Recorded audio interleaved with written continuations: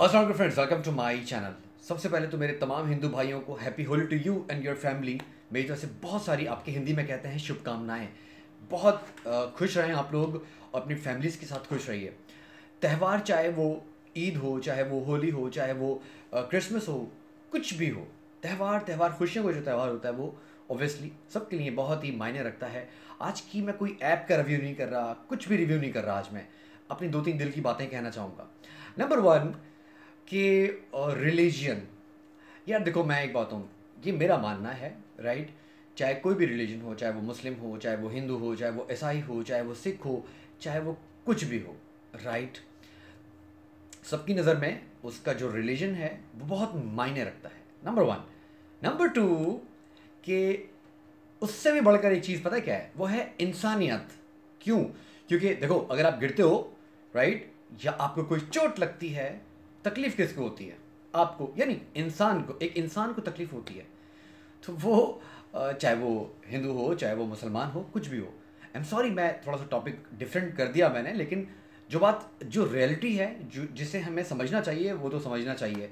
तो सबसे पहले है इंसान राइट किसी का भी दिल ना दुखे हर इंसान को कोशिश ये करनी चाहिए। आपको पता है मे- मेरे बहुत सारे अ, जो मेरे मतलब मेरी जो फॉलोइंग में है राइट जो मुझे फॉलो करते हैं, वो बहुत सारे मेरे इंडियन दोस्त हैं, मेरे इंडियंस भाई हैं, ठीक है? और आपको ये एक बात बताने में मुझे बड़ा यू नो एक अच्छा लगेगा कि आपका इंडिया का जो नेशनल एथम है राइट वो भी मैं गा चुका हूँ राइट बत सुनना मेरी बात, वो भी बताऊँगा कैसे।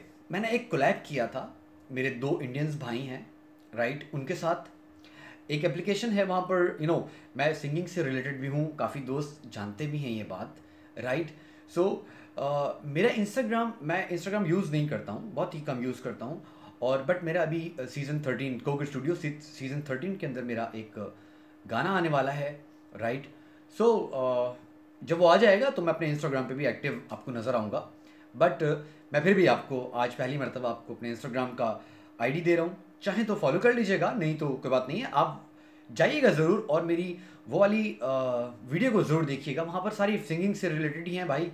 सही है। तो जिस भाई को जो वीडियो अच्छी लगे सिंगिंग से रिलेटेड लाइक कर दे, कर देना, वरना मैं आपसे लाइक मांग नहीं रहा।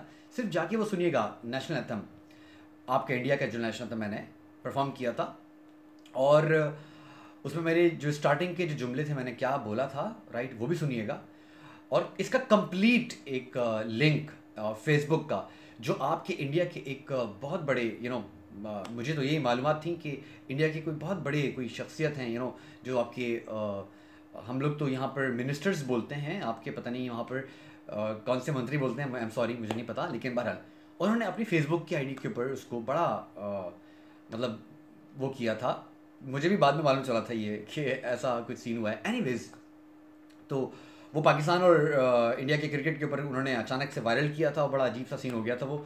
सो एनी हाउ सो आप जाके ज़रूर सुनिएगा राइट तो आपको, आपके भाई के दिल की फीलिंग्स नज़र आ जाएँगी राइट देखो, मैं फिर ये बात बोलूँगा कि चाहे वो पाकिस्तान हो, चाहे वो इंडिया हो, हर किसी के लिए उसका मुल्क, यानी उसका देश, उसके लिए बहुत इंपॉर्टेंट बहुत मायने रखता है।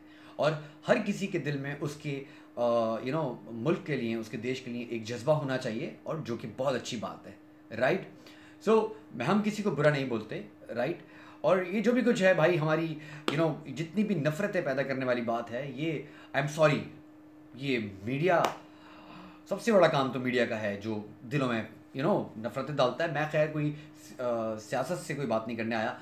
आप लोगों को विश करने के लिए आया था। एक दफ़ा दोबारा अपने भाइयों को हैप्पी होली। आप लोग खुश रहिए, मुस्कुराते रहिए, अपनी फैमिली के साथ हमेशा खुश रहिए। और मेरी बात से अगर किसी को तकलीफ़ पहुँची हो तो प्लीज़ मैं बहुत दिल से इसके लिए सॉरी चाहता हूँ। अपना बहुत सारा ख्याल रखिएगा। मेरी तरफ़ से लव यू ऑल बाय